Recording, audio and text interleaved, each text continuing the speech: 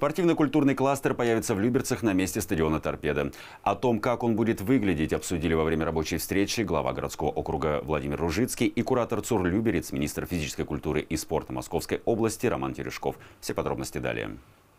Реконструкция начнется со строительства пристройки хореографической школы к Люберецкому дворцу культуры. Его возведение началось несколько лет назад. Был даже залит фундамент, но из-за пандемии проект пришлось заморозить. Во время рабочей встречи куратор Ацур Люберец, министра физической культуры и спорта Романа Терешкова с главой городского округа Владимиром Ружицким принято решение возобновить работы.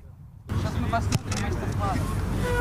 Вот это да! Куда более масштабные работы ожидается на стадионе «Торпеда». Футбольное поле развернут на 90 градусов. Вместо натурального газона будет искусственное покрытие с подогревом. Рядом построят площадки для волейбола, баскетбола и силовых видов спорта.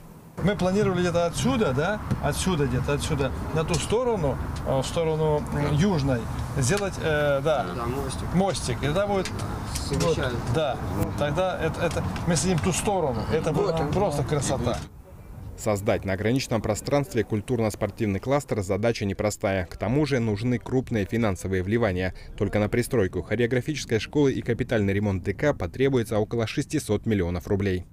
Если говорить о спортивном э, крыле, это еще 800 миллионов, то есть это полтора миллиарда.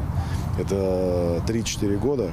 Э, если сейчас мы договоримся, концепцию утвердим, то постараемся поставить деньги на проектирование на 22-23 год, и уже с 23 года приступить к реконструкции э, и пристройке хореографической школы, ну и, соответственно, уже посмотреть 24-25 это центральный стадион. В том, что в центре Люберец нужна новая точка притяжения горожан, уверен и депутат Московской областной думы Дмитрий Дениско. Поэтому со своей стороны будет продвигать проект на региональном уровне. Любой проект продвигать очень сложно. Но когда у нас есть такая поддержка на, э, сейчас в лице министра спорта, э, в будущем, надеюсь, э, эта поддержка не иссякнет. Я думаю, что здесь центр спорта обязательно будет. Реконструкция будет вестись за счет совместного финансирования муниципального и регионального бюджетов. Не исключено и участие в реализации проекта инвесторов. Григорий Ворванин, Денис Заугольников, телеканал ЛРТ.